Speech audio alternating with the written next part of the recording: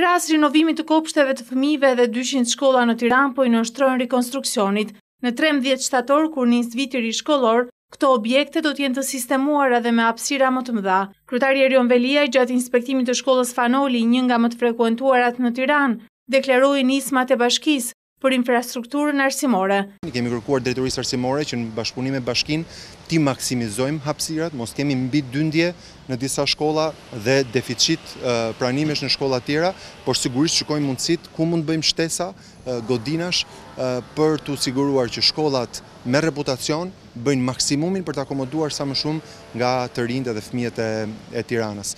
Ndërsa në vjeshtë, Bashkia e Tiranës nis zbatimin e një prej projekteve më të rëndësishëm në infrastrukturën arsimore.